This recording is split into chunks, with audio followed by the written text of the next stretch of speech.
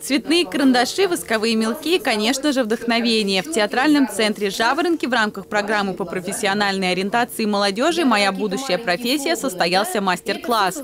На этот раз ребята попробовали себя в роли художника-оформителя. И тема сегодня отнюдь не детская и совсем непростая. Нет фашизму. Мы решили поговорить сегодня а, руками детей и душой детей о очень сложном, наиболее сложном вопросе. Откуда взялся фашизм? А все помнят Великую Отечественную войну. И дети наши знают прекрасно. И вот нужно сегодня а, детям объяснить, что это тогда еще было.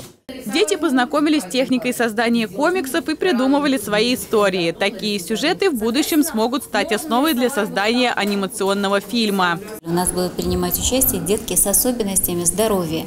Мы хотим сказать, что и эти детки могут реализоваться со своими творческими возможностями в современном российском обществе. Нужно им только немножечко помочь. Комиксы у ребят получились разные. Здесь не важно было умение рисовать, главное передать творческую задумку. Мы сегодня рисовали комикс про Великую Отечественную войну. Спасибо, Дед Мороз, Снегурочка, за эти прекрасные подарки.